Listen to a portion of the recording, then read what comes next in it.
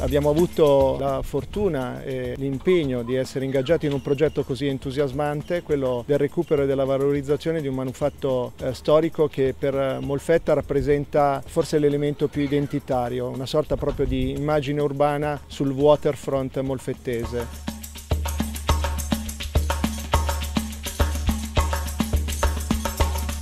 C'è stata una grande empatia con l'edificio, perché è chiaro che non si può rimanere impassibili davanti a un edificio che è così ricco di storia e così ricco di fascino. Tutto il progetto, tutta la realizzazione è sempre mirato a garantire una qualità minimamente invasiva in linea con tutto il concetto del restauro e del recupero di questo edificio.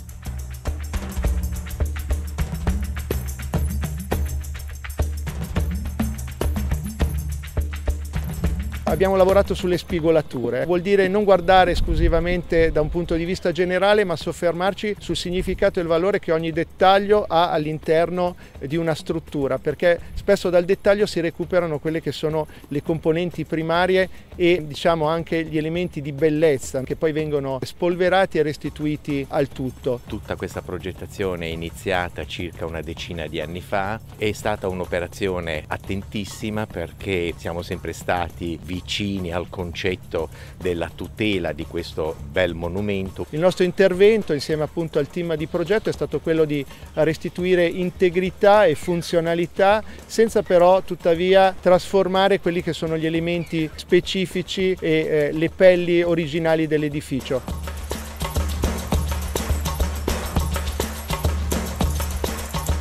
Io penso che fin da subito si sia colto la forza che era all'interno di questo edificio, che ha subito spinto il nostro pensiero sul recupero e che pensiamo di aver condiviso con eh, un gruppo di lavoro veramente molto molto stimolante che ha arricchito moltissimo, chi ha condiviso la visione e che ha permesso di realizzare questo intervento in maniera molto attenta, molto visionaria, lasciando un segno importante nella città, che era quello che volevamo fare.